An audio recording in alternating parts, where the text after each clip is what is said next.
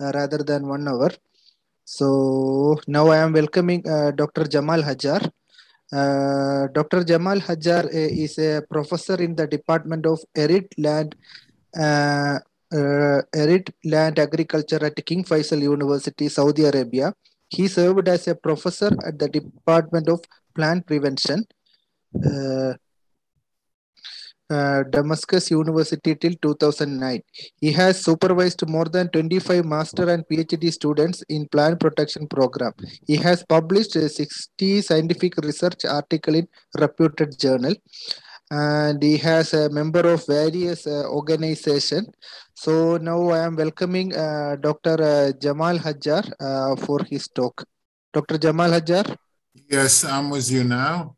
Yeah, yeah. Please, you can share your screen and yes, you um, can go. uh, my pleasure, you know, and uh, already I sent, you know, my presentation and uh, it will be my pleasure if you share it with me, please. Yeah, sure.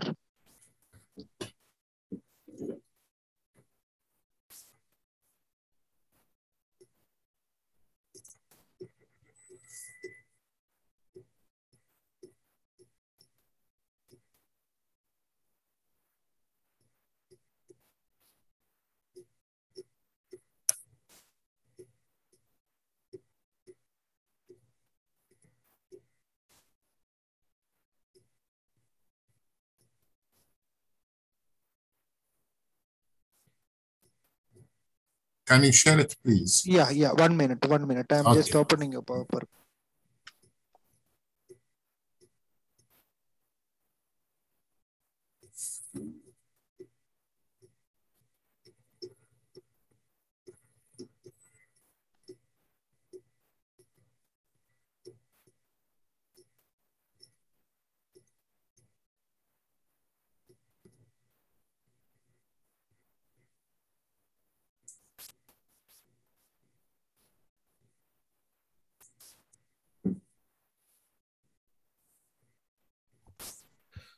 Uh, is there still a question from Rema or has Rema forgotten to lower the hand?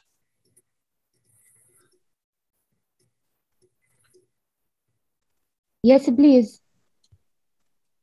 You still have your hand uh, for a question. Uh, otherwise, maybe you can uh, click again and then uh, the hand disappear. Otherwise, uh, we are thinking that you still have a question or a comment.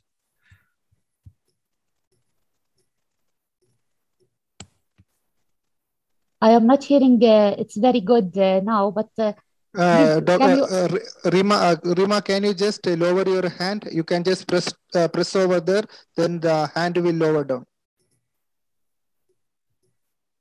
ah, ah, okay, okay.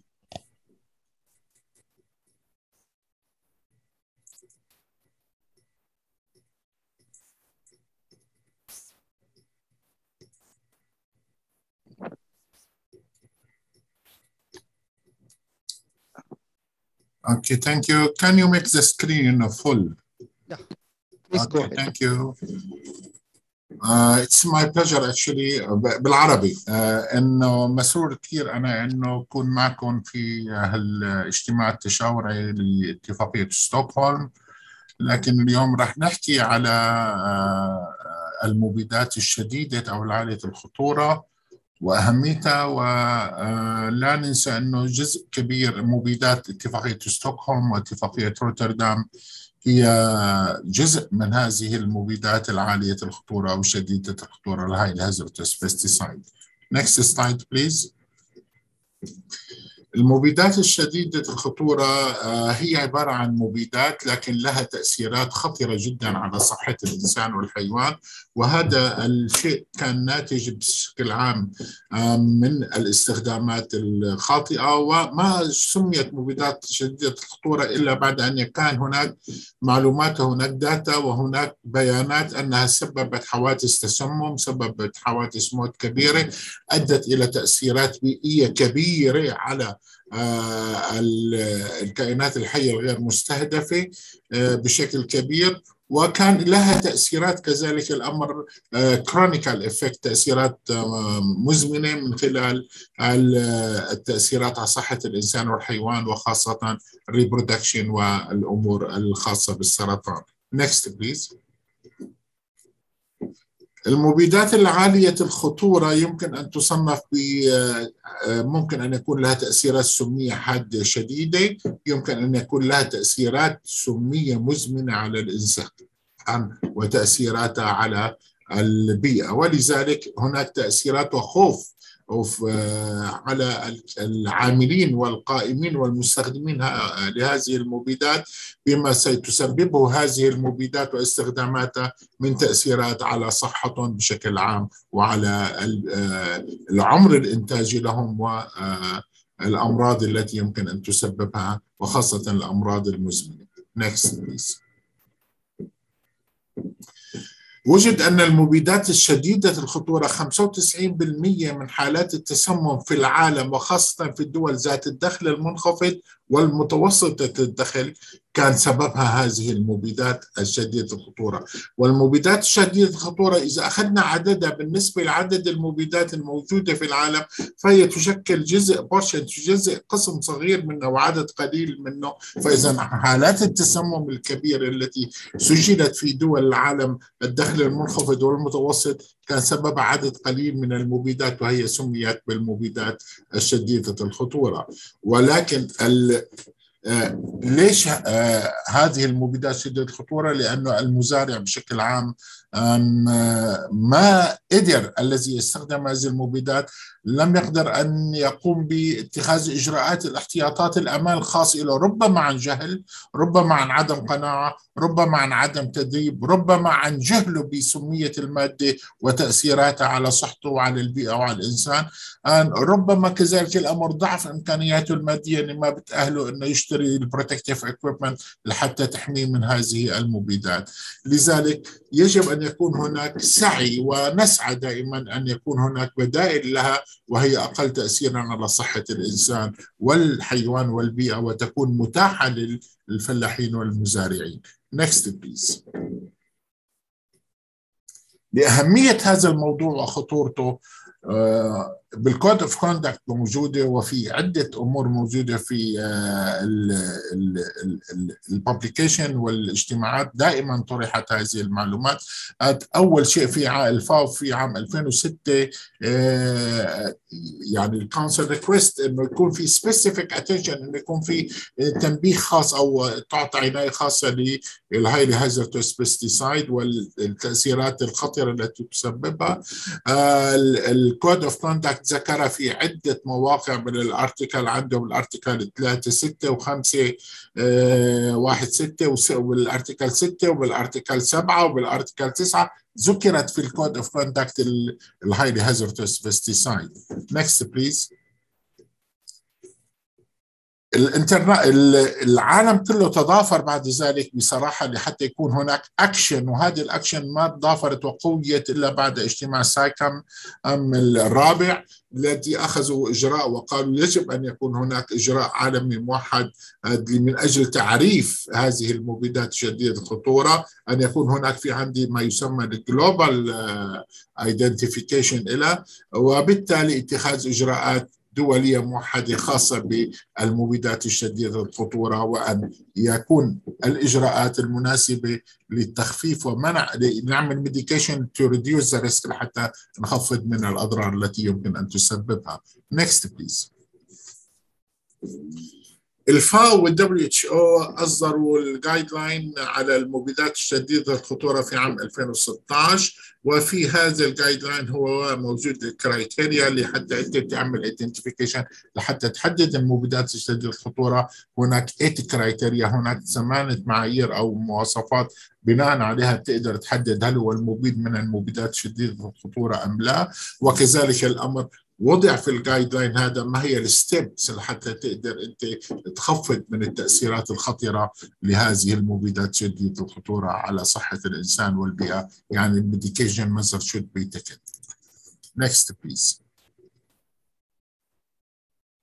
دائما المبيدات هي مسؤولية البلد التي تقوم بعملية مراقبته والتي تقوم بتسجيله فإذا لما بنقول ال pesticide regulatory authority يعني الجهات المسؤولة عن تسجيل ومراقبة المبيدات هي مسؤولة عن كذلك الأمر التعامل مع هذه المبيدات شديدة الخطورة لتخفيض الآثار الضارة الخطرة على صحة الإنسان وعلى البيئة.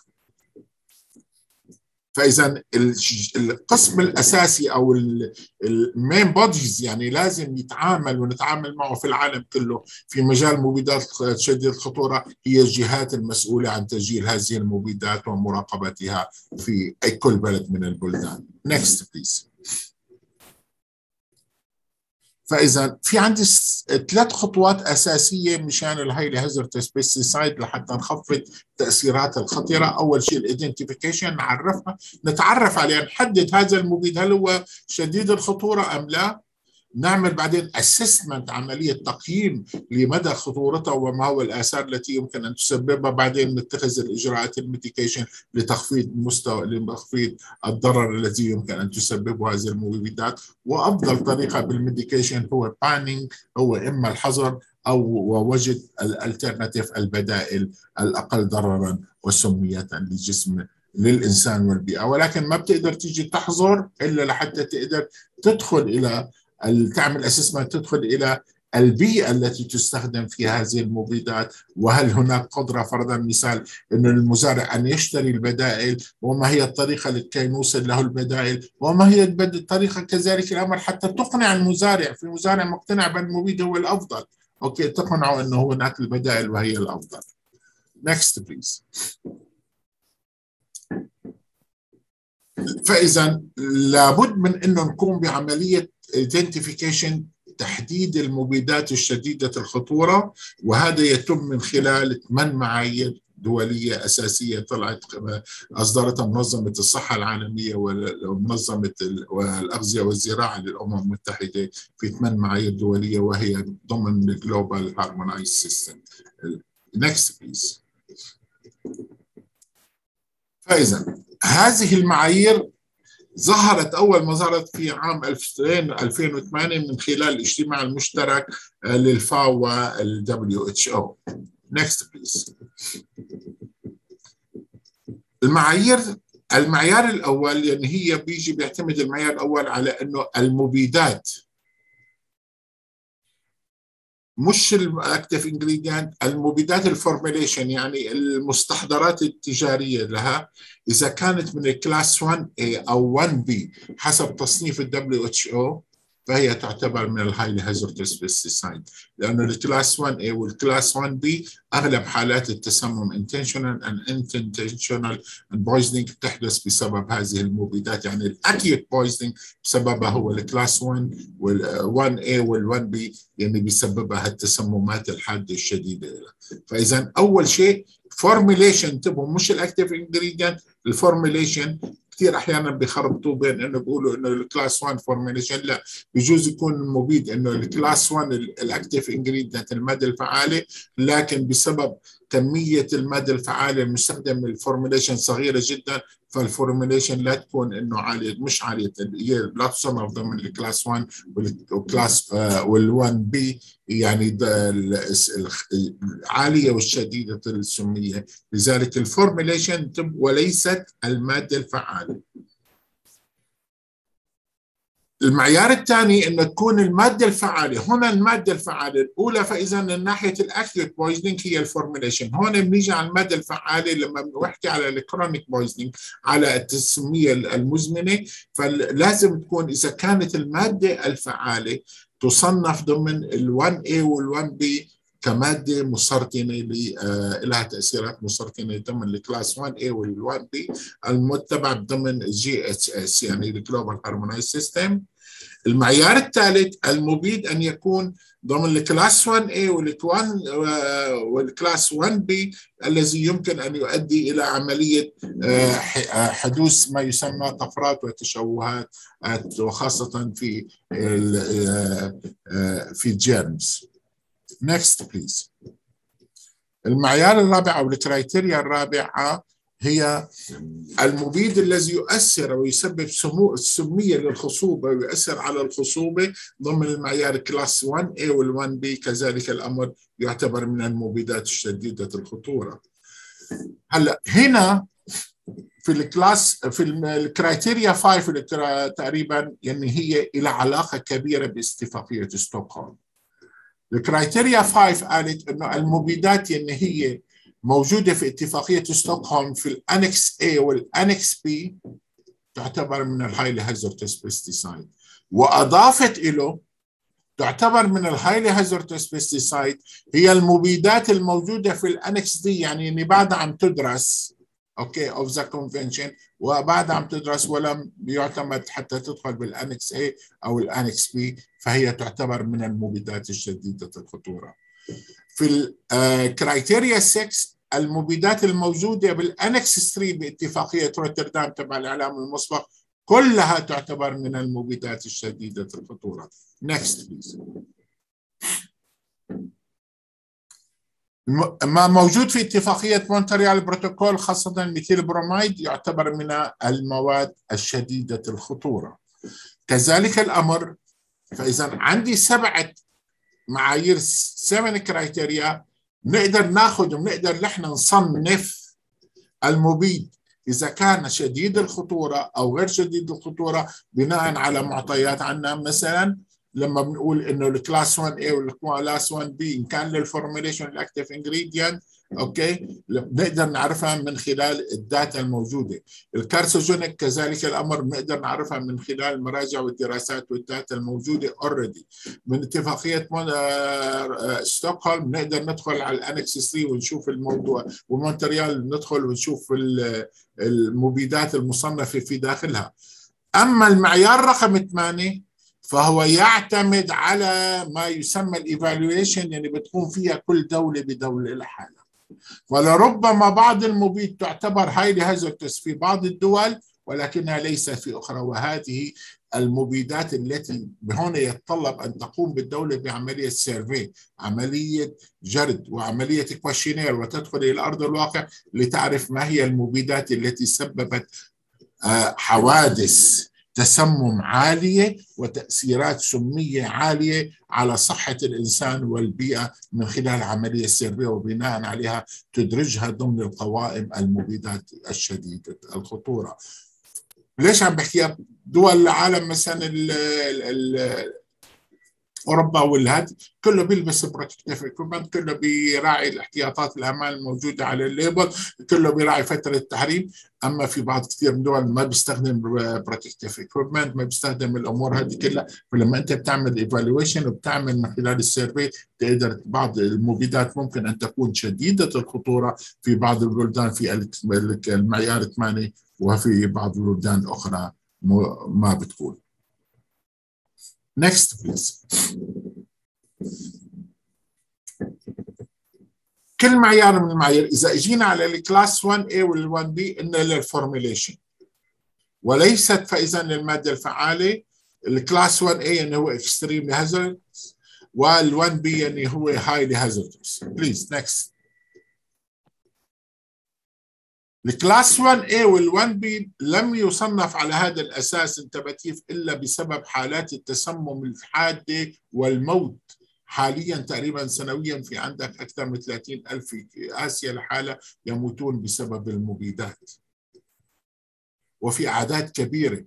تصوروا إنه في المكسيك عندما صنفوا واستخدموا الإجراءات الخاصة بتصنيف المبيدات شديده الخطورة واتخاذوا الإجراءات وخاصة الميتيجيشن وكان أهم إجراء اتخذوه إنه منع استخدام المبيدات شديده الخطورة انخفضت نسبة حالات التسمم بمقدار 70% ال poisoning يعني هي كانت سواء كانت يعني إحنا ما بنطلع على ال suicide يعني بدايه الحاله بنطلع على ال poisoning يعني بتيجي بشكل غير معتمد يعني accidental ال formulation المسؤول عن تحديد درجة سمية المبيد لل formulation سواء كان يعني class 1 A أو 1 B هو الجهة المسؤولة عن تسجيل المبيد في كل بلد لكن بجوز لهم أنت المسؤول طيب لك منين بدي أجيب المعلومة How can I get this information? It is easy. Next please. هذه التصنيف الدولي يعني هو اعتمدته وهو المرجع الأساسي ال WHO لل class 1 a ال class 1 a يعني هو عن طريق ال oral بيكون أقل من 5 ملي جرام لكل كيلو جرام body weight أما إذا كان ال dermal أقل من 50 ملي جرام اما ال class 1 B يعني هو من 5 ل 50 عن طريق ال oral وأما ال dermal من 50 ل 200 Next please okay.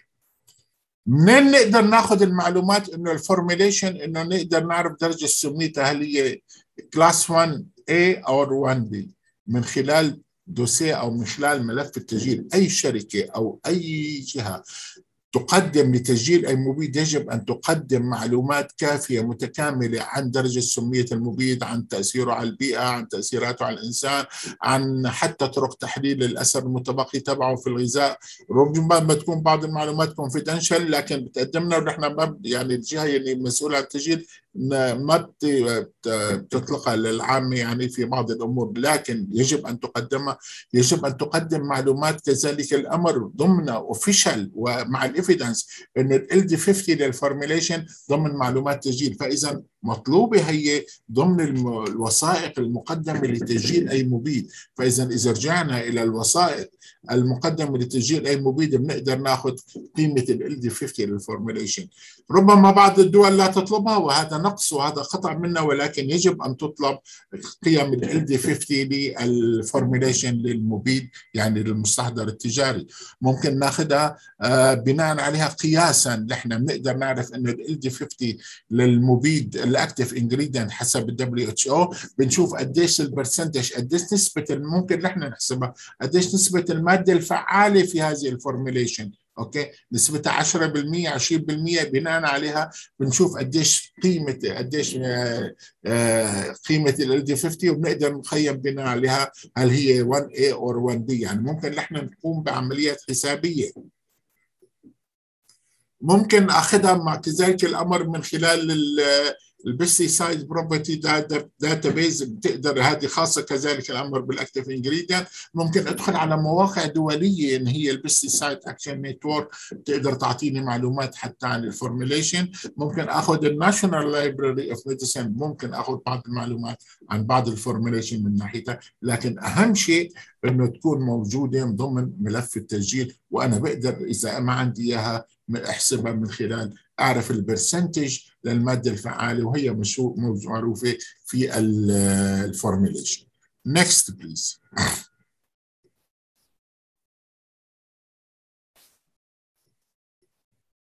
One before please. Uh, next next sorry. Okay next. Uh, إذا اجينا للمعيار اثنين وثلاثة وأربعة. اثنين وثلاثة وأربعة يعني هن بيجي آه، حسب ال global harmonized system ال category 1A وال 1B نستعرضها مثلا لخاصة في مجال المركبات التي يمكن أن تسبب السرطانات فإذا إذا كانت المركبات تسبب السرطان ضمن ال 1A وال 1B فإذا هذه تعتبر مبيدات عالية الخطورة. لكن شو الفرق بين ال 1A وال 1B next please. ال 1A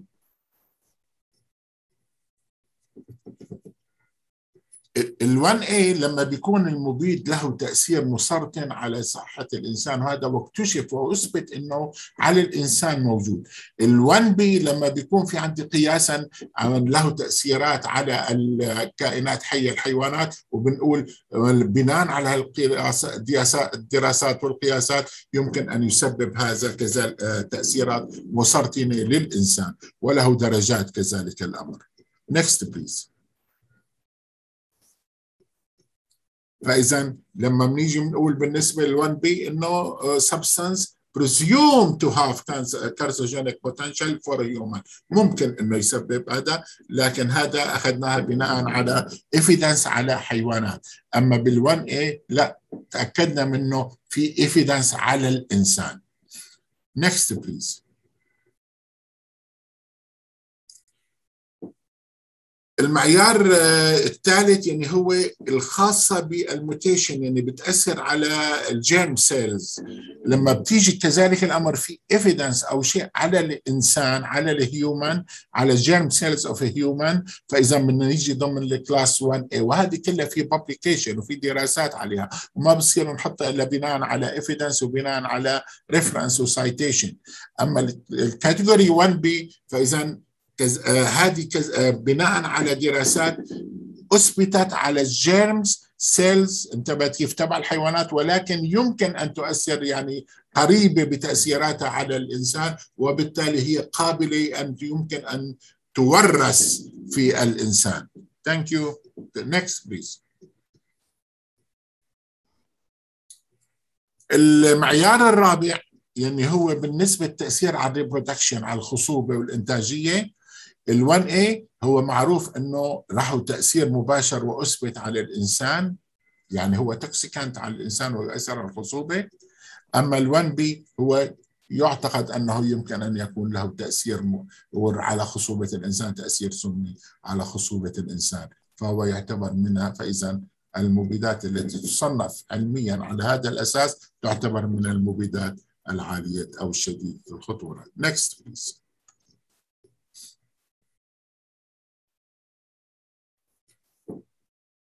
فإذا next please.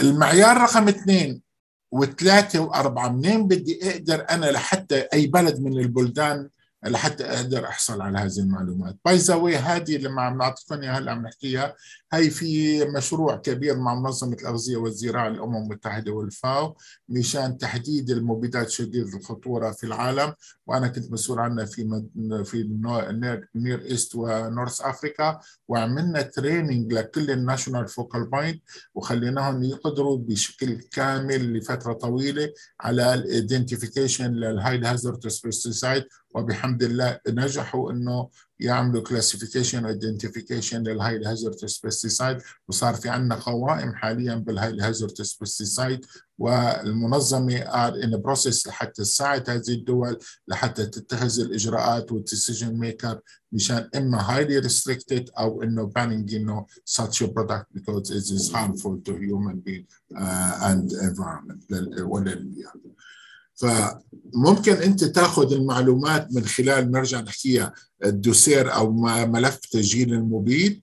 ممكن تاخذ المعلومات الخاصة بدرجة خطورة هذا المبيد حسب إنه مسرطن أو يسبب mutation أو تأثيره على ال reproduction من خلال منظمة الصحة العالمية والمنظمة الدولية الأول ال labours لأنه في عندهم ما يسمى ال international chemical safety cards ال classification ممكن كذلك الأمر مصدر رئيسي ومهم و reliable اللي هو ال EU pesticide database وعندي كذلك الأمر وهي متوافقة مع ال global harmonized system وال WHO وال ILA وال ILO international chemical safety cards classification متوافق كذلك الأمر مع ال global harmonized system ممكن نأخذ كذلك الأمر هذه المعلومات ونستقيها من خلال European Chemical Agency الوكالة الأوروبية للكيماويات ويمكن أن نستقي هذه المعلومات من خلال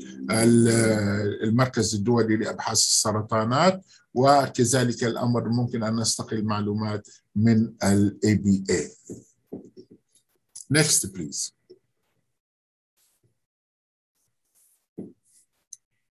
إذا جينا على المعيار رقم خمسة أو ال criteria رقم خمسة يعني هي الخاصة ب Stockholm Convention.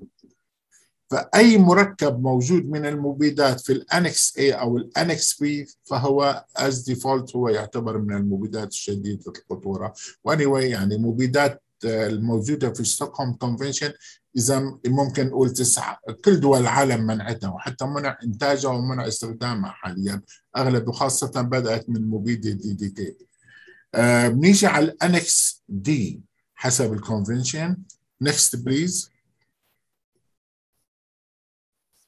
دي إن هي للمبيدات يعني still screening criteria بعدها هي تحت الدراسة لإدخالها إما بال annex A أو B next please. okay بال annex D إذا كان المبيد نصف عمره في الماء أكثر من شهرين فهو يعتبر من المبيدات ال high hazardous pesticide إذا كان المبيد نصف العمر النصف له في التربة أكثر من ستة أشهر فهو يعتبر من المبيدات الشديد الخطورة. حتى لو ما كان موجود بال annex A أو ال annex B في اتفاقيه روتردام إذا كان المبيد بال sediment عمر النصف له أكثر من ستة أشهر كذلك الأمر. فهو مبيد يعتبر persistent compound طيب. نيجي على المعيار الآخر اللي هو ال bioaccumulation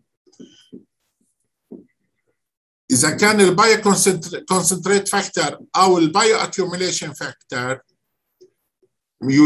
يعني أكثر من 5000 فهو يعتبر من المبيدات التي المتراكمة حيويا في البيئة وبالتالي يعتبر من المبيدات الشديدة الخطورة. إذا كان معامل التوزيع له بين ال octanol water أكثر من خمسة يعتبر من المبيدات التي هي ال high hazardous pesticide وتعتبر من المبيدات يعني ال persistent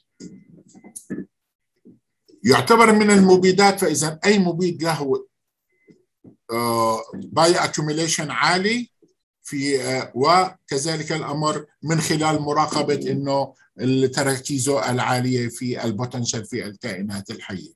Next please. بال Annexes D إذا كان المبيد تقريبا استخدم في منطقة معينة هذه بنيجي بنحكيها ال potential for long for long range environmental transportation مبيد استخدم في منطقة معينة ولكن وجدناه على منطقة بعيدة عن منطقة استخدامه. فاذا وجد وسجل في عينات على منطقة بعيدة عن منطقة استخدامه فهذا يعتبر من المبيدات الشديدة الخطورة. إذا كان المبيد موجود في ال Annex D في evidence على تأثيراته السلبية على صحة الإنسان والبيئة فهو يعتبر من المبيدات الشديدة الخطورة. إذا كان المبيد بال Annex D لا تاثيرات السمية والمعلومات والبيانات المعلومات عن تاثيرات السمية أثبتت أن له تأثيرات خطرة على صحة البيئة والإنسان فهو يعتبر كذلك الأمر من المبيدات الشديدة الخطورة. Next please.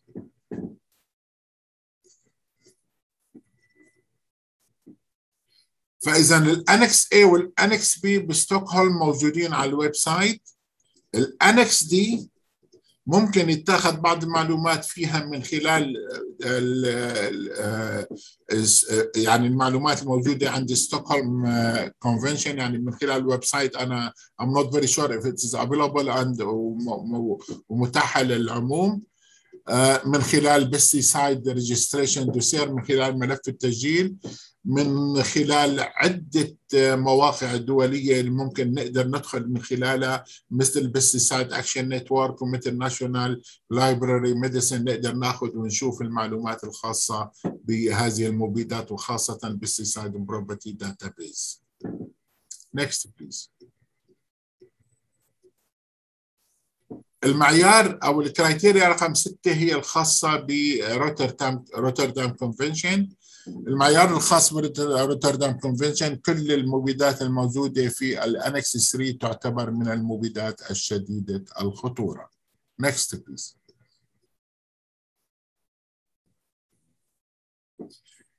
معروف الكل إنه روتردام convention كلكم تعرفوها إنه هو الإعلام المسبق للمبيدات للمبيدات وهذه أخذت ضمن معايير خاصة للمبيدات التي لها تأثيرات خطرة وهذه ما بتيجي تيجي إلا بعد ما يكون في عندي 3 notification من 3 regional حسب توزيع الدولي وتكون ال notification متوافقة مع ال criteria الموجودة باتفاقية روتردام وبالتالي صار في control لتجارة هذه المواد الخطرة وصار في traceability وصار في tracking وبالتالي لما أي ماده as default بتلاقيها موجودة في ال Annex 3 تبع روتردام convention بتصير دائما دغري مباشرة restricted وكثير من دول العالم بتصير تفضل عدم استخدامها وعدم استعمالها إذا كان في لها بدائل. Next please. المعيار رقم سبعة يعني هو الخاص بال methyl bromide والحمد لله ال methyl bromide almost phased out all over the world لكن له استخدامات محدودة جدا بعد ما يتاخذ permission ويتاخذ موافقات ويكون في recovery system لهذه المركب. وهذا الشيء له علاقة بال ozone layer next please. المعيار رقم ثمانية يعني حكينا هذا بده يعتمد انتبه كيف يعني مو شرط تكون المبيد لا غير متوافق مع أي من المعايير السبعة ولكن هذا المبيد وجد من خلال ال surveillance ومن خلال ال survey التي اجريت أن له تأثيرات خطرة وشديدة على صحة الإنسان والبيئة فبالتالي يعتبر من المبيدات الشديدة الخطورة. Next please.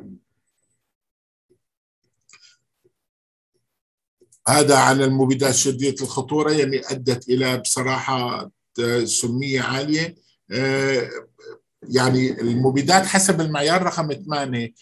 من الصعب لأي دولة من دول العالم تعتمد فيها على ال international database لأنه هي prevailing local condition تعتمد على الوضع استخدام استخدام المبيدات في كل دولة من دول هذه الدول. وهذه أكثر شيء في دول ذات الدخل المتوسط والدول الفقيرة التي أغلبها المزارعين فيها لا يستخدموا الألبسة الواقية لعدم ما مش إنه غير متاحة ما عندهم القدرة ربما يلبسوها أو ما عندهم العلم فيها أو ما عندهم ال awareness ما عندهم ال training ما عندهم المعلومات الكافية الخاصة فيها. Okay. Next please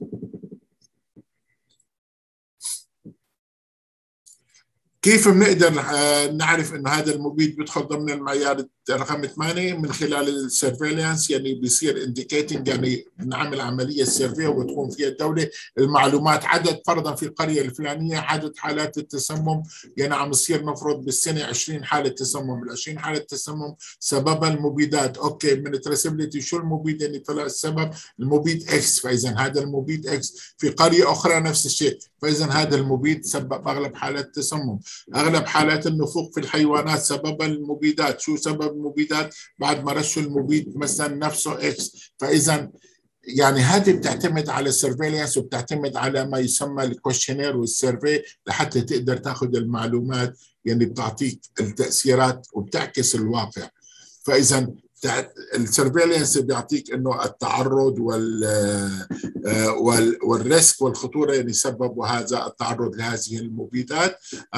وممكن نحن بكثير من الحالات بصراحة إذا ما في عندي data كافية على إنه أتخذ بعض المبيدات حتى ضمن ال criteria رقم 8 اذا دولة neighborhood يعني دولة إلى نفس الظروف المناخيه نفس الظروف البيئية.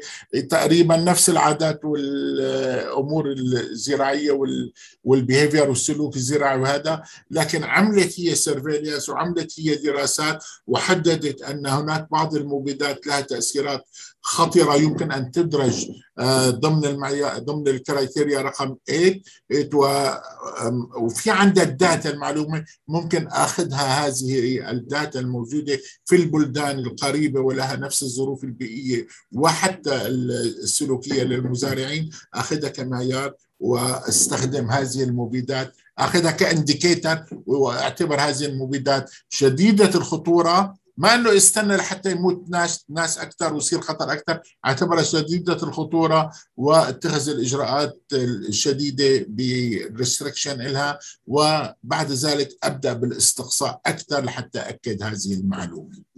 Next please.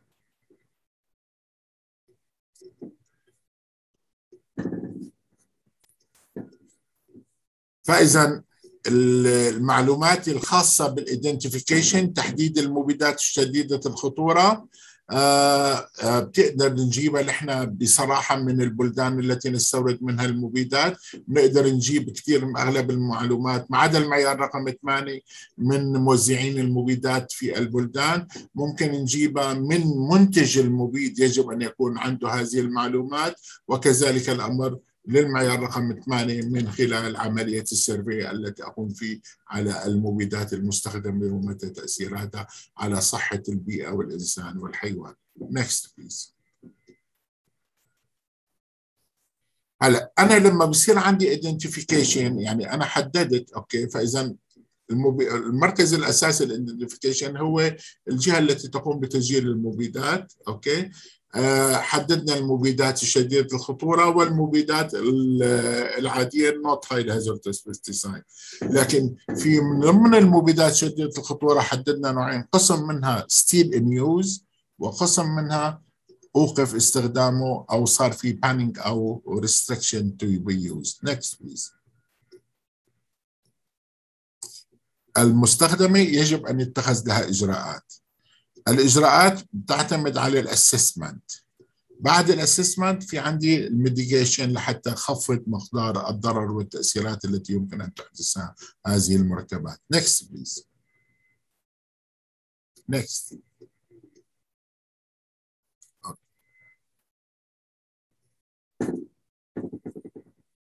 بعض المعلومات اللي بتجيني في مجال تحديد المبيدات شديدة الخطورة تختلف من بلد إلى آخر وخاصة في المعيار رقم 8 في الكرايتيريا رقم 8 next please.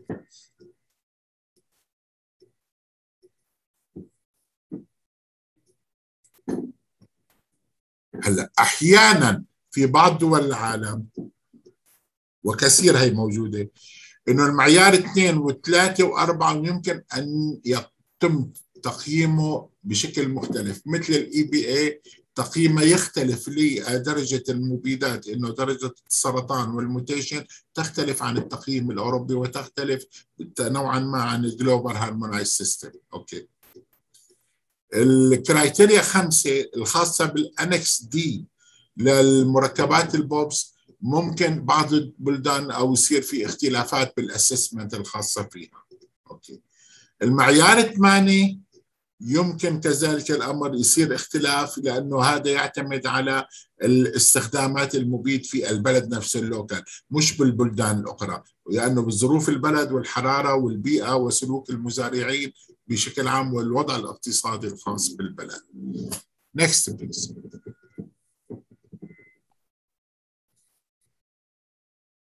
منين ممكن نحن هلأ المبيدات الشديدة الخطورة في لها criteria غير ال criteria في بعض ال criteria اللي ظهرت من الموحدة العالمية المعتمدة حاليا التي آه، نعمل عليها آه، التي اصدرت من منظمة الأغذية والزراعة ومنظمة الصحة العالمية. next ب CropLife وفي عندي ما يسمى ال Pesticide Action Network ال PAN. كذلك الأمر عند المعايير الخاصة بال hazardous highly hazardous pesticide next please CropLife إذا أخذنا ال criteria تبع ال CropLife هو نفس ال criteria تبع ال FAO وال WHO لكن ينقص عنه إنه لم يدخل فيها ال criteria أو ال criteria الخاصة بال Annex D ولم يدخل فيها كذلك الأمر ال Annex 3 الخاصة باتفاقية روتردام. ولم يدخل فيها ال high incidence يعني التأثيرات الشديدة التي يمكن أن تحدث التي ناتجة عن الاستخدامات الغير منصوحة.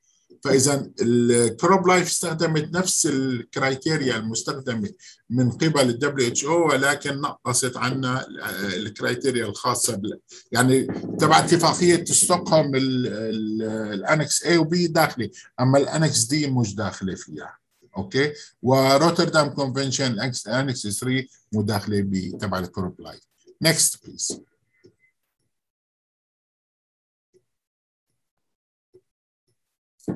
من ال Pesticide Action Network International PAN أن نفس ال criteria تبع ال FAO وال WHO ولكنها تزيد عنها. شفنا ال CropLife أقل. هون تزيد عنها. إنه أخذت آه، أضافت ال Global Harmonized System تبع ال acute inhalation category ما ضاف نيكي انتبهت كيف عندي ال oral وال dermal في ال criteria الثمانيه الموجودة تبع الدبليو اتش أو والاف اي أو ركزوا على ال oral وال dermal أوكي exposure هي كمان أضافت إلى عن طريق التنفس. تنفس كذلك الأمر. أضافت إلى ما يسمى ال potential endocrine disruptor التي يسبب disruption أو ما يسمى تعطيل للجهاز الهرموني بشكل أساسي. أضافت كذلك الأمر الاثنين ال criteria اثنين وثلاثة ما يسمى very bioaccumulators and very toxic to aquatic organism التي تعتبر من المركبات التي تتراكم بشكل عالي وسميتها عالية كذلك الأمر للكائنات الحية المائية. وأضافت كذلك الأمر تعتبر من المبيدات شديدة الخطورة المبيدات العالية السمية للنحل. وهذه فاذا هناك أربعة أشياء موجودة في ال Pesticide Action Network International موجودة نفسها تبع الاف أو دبليو أو لكن أضافت إليها أربعة أشياء وأهمها هو ال endocrine disruptor وال acute عن طريق ال inhalation عن طريق التنفس. وسميته للنحل. Next.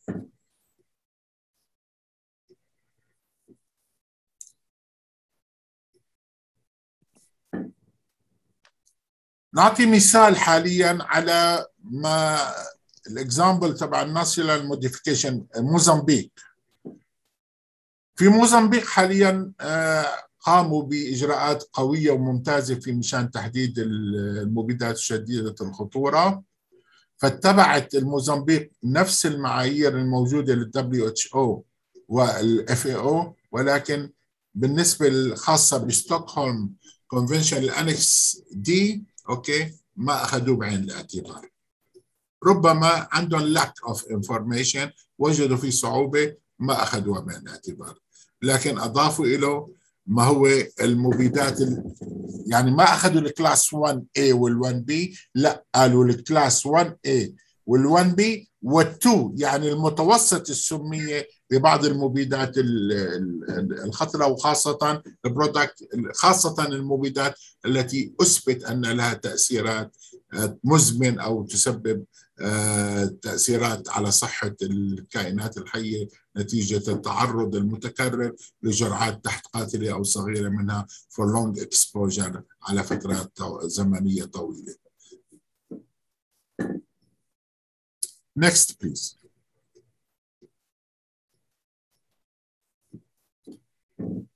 المنصوح استخداماته بصراحة في دوليا هو ال recommended guideline من ال highly hazardous التي صدر في عام 2016 الخاص بالمبيدات شديدة الخطورة وهذا ما نعمل عليه حاليا مع كل دول العالم من خلال التدريب التي نقوم به ونحن involved حاليا في منطقة الشرق Near East and North Africa والحمد لله قطعنا شوط كبير فيه من خلال identification وحاليا في إجراءات مشان ال mitigation إن شاء الله. Next please. إذا التقييم ال assessment ال assessment بدك تيجي أول شيء تحط list of the product انتبه كيف لازم تاخذ تاخذ يعني نحط قائمة بالمواد التي يجب أن نعطيها الانتباه والأهمية لأنها يمكن أن تكون مبيدات شديدة الخطورة. بعد ذلك كل مبيد ال step 2 كل مبيد أو كل مركب انتبهت كيف بدنا نيجي نعمل له عملية تقييم ونشوف تأثيراته وهل هي ضارة على الإنسان والبيئة وما هو الأكشن وما هو الإجراء المفضل للاتخاذ الخاص بهذا المركب. هل هو نعمل له restriction هل نعمل له banning يعني ليش عم أقول إنه نعمل فرضا؟ إذا ما في بدائل ما بتقدر تيجي تقول للمزارع إنه والله لا تستخدم المبيد. لا ممكن بالوقت إنه تخليه يستخدمه لكن أنت تتابعه مشان مع إجراءات الأمان والوقاية بشكل إنه تقلل من حالات التسمم بعدين تيجي تجيب البديل وتيجي تقنع الفلاح بالبديل. أحيانا الفلاح بيقول لك لا على الاسم التجاري. ما بيطلع على المدفع عليه له سنين عم يستخدمه وخلص هذا. بدك تقنعه. بدك تيجي تيجي تقنعه تلاقي الأسلوب. فاذا لازم نأخذ الإجراءات وتكون سريعة لحتى نقدر نوجد لحتى نكون البدائل المقبولة والتي تقنع المزارع لحتى يستخدمها مع اتخاذ إجراءات الأمان يعني من ناحية الألبسة الواقيه من ناحية آه، منع آه، انجراف المبيدات وتسميم الحقول الأخرى والمصادر المائية وما شابه ذلك. فاذا بصير عملية risk assessment وبصير عندي ما يسمى needs assessment تقييم الاحتياجات. Next please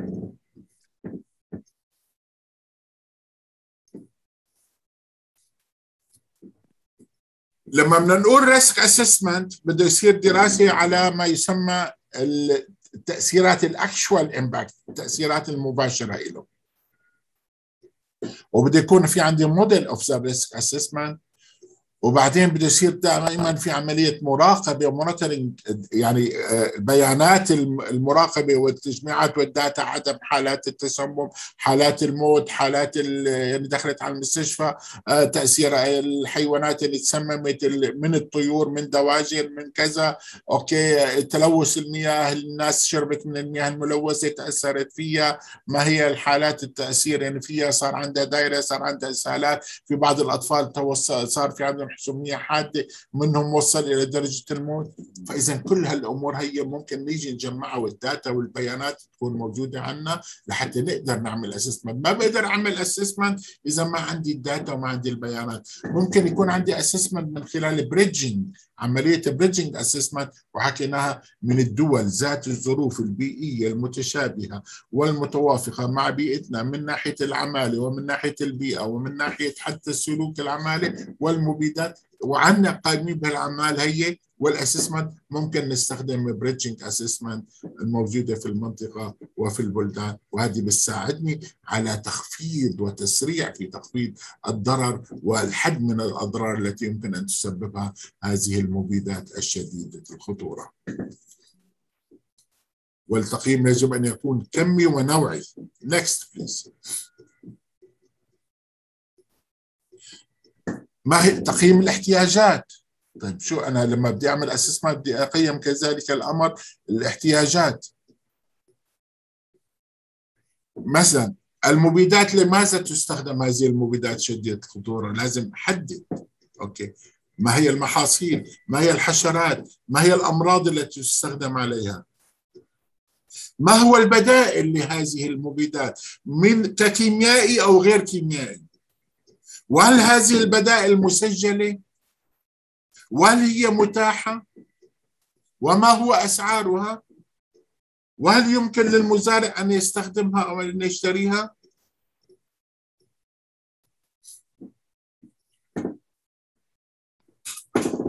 خمس دقائق فيصل خمس دقائق نعم بالغرفة يعني ما هو تأثير هذه البدائل على البيئة والإنسان والحيوان؟ وما هو متى هل هي متاحة limitation of alternative هل هي متاحة؟ وهل هي موجودة في الأسواق؟ وهل يمكن أن تتاح لجميع المزارعين بالأسعار المقبولة؟ Next please.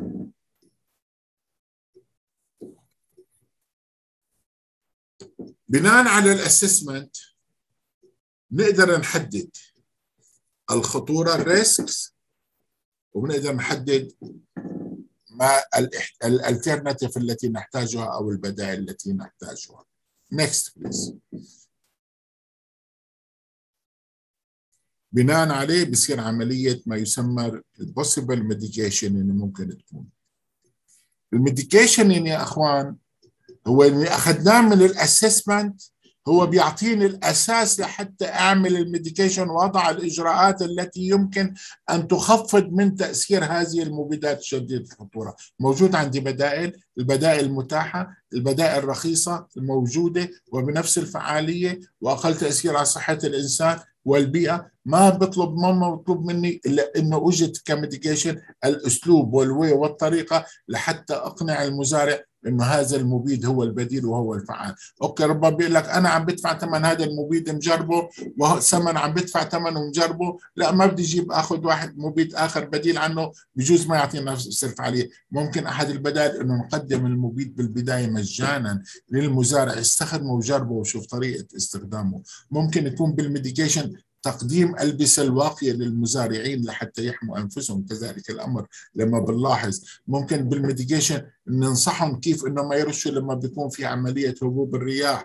ممكن بال mitigation ننصحهم كيف يعملوا ال maintenance لآلات الرش تبعهم. بال mitigation ممكن ننصحهم إنه to keep the animal away from the treatment of the field من مناطق الحقل. وخاصة ممكن بال mitigation ننصحهم نبين لهم لما بيطلع على ال label دون ما هو يقرأ. هو أمي ما يقرأ. لكن هالإشارة هي الإشارات أو العلامات الخاصة بالسمية هي بتدل لك إنه هالإشارة إذا شفتها المبيد هذا عالي السمية. بدك تقت إجراءاتك وتنتبه إلك أولادك حيواناتك كذا. هي بتقول لك إنه متوسط سمية. هي بتقول لك إنه مثلا عالية السميه فإذا بالميديكيشن هي الإجراءات التي يمكن أن نستخدمها بصراحة لحتى نطبق البدائل ونخفض من التاثيرات الخطره لهذه المبيدات الخطره على صحة الإنسان والبيئة. Next please. من أمور ال mitigation وهذه ضمن أصحاب القرار منع استخدام المبيدات أحيانا ما تمنعه إذا ما في alternative وقف تسجيل المبيد خاصة للمستحضر اللي يسبب حالات تسمم عالية أو إنه تجديد استخدام المبيد يصير يعني مقيد بشدة. إعادة ملف تسجيل المبيد لاتخاذ الإجراءات القانونية وحد من استخدامات هذه المبيدات. وكذلك الأمر يمكن المبيد هذا يستخدم فقط إذا كان هناك وصفة موقعة من قبل المهندس الزراعي المختص. هذه إجراءات تتخذها الإجراءات القانونية المتخذة ويمكن اتخاذها الجهات المسؤولة عن تسجيل المبيدات Next please.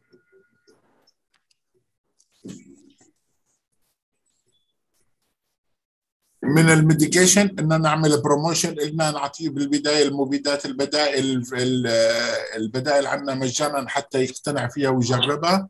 من ال mitigation إنه نطبق المكافحة المتكاملة وهذه المكافحة المتكاملة لا يمكن أن تنجح بمجهود مزارع واحد. يجب أن تكون مجهود مجموعة مزارعين وهناك facilitator هناك المرشد الزراعي المدرب والمؤهل لأنه ال IPM هي من قبل الزراعة إلى ما بعد الزراعة. ال IPM لتنجح لازم تكون learning by doing لازم تكون معامل التعلم من خلال الممارسة. ال IPM ما بتنجح إذا بنيجي بنقول له اعمل كذا وساوي كذا لا learning by doing فإذا استخدام ال IPM المكافحة المتكاملة لحتى تنجح وتكون هي البديل الأهم بالفعل لاستخدام المبيدات الشديدة الخطورة. وكذلك الأمر إدارة المركبات بشكل قوي ما يكون في تقوية.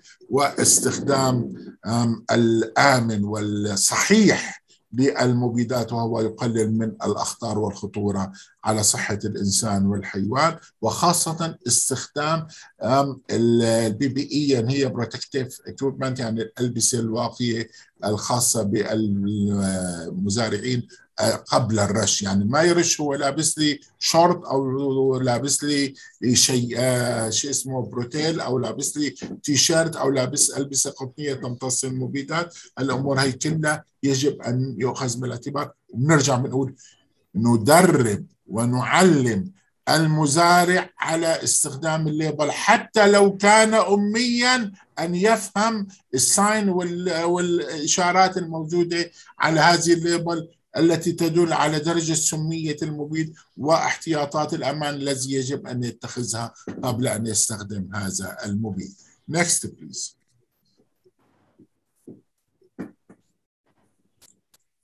وقف تسجيل المبيدات ال stakeholders لهم دور كبير لازم يكون في تخفيف في ال mitigation للمبيدات الشديدة الخطورة ويجب أن يساعد ويكون هم الأساس في هذا العمل okay وكذلك الأمر دائما خاصه الدول الموجودة في نفس المنطقة يكون في عملية check ومعرفة لتوحيد القوائم المبيدات الممنوعة الشديدة الخطورة وكذلك المبيدات ال restricted بسبب إنها مبيدات شديدة الخطورة.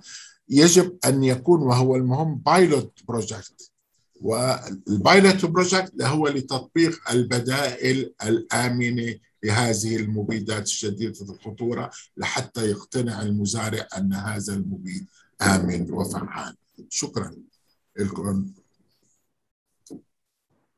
ال action plan. فاذا عندي ال identification عرفنا المبيدات الشديدة الخطورة. عملنا ال assessment. بعدين عملنا ال mitigation. next. I think it will be the last slide. Okay. Thank you very much for your attention and uh, uh, it was my pleasure actually to be with you and to present you uh, the high hazardous pesticide to you and if anybody have any question I'm willing to answer it uh, in Arabic or in English, you know, it is depend, you know, who's uh, are going to raise the question. Thank you very much. And we thank Dr. Hassan and uh, for this opportunity. And we hope actually to succeed to reduce the risk uh, uh, could because of from high hazardous pesticide and from POPs product in general. Thank you. Thank you. Thank you, Dr. Jamal.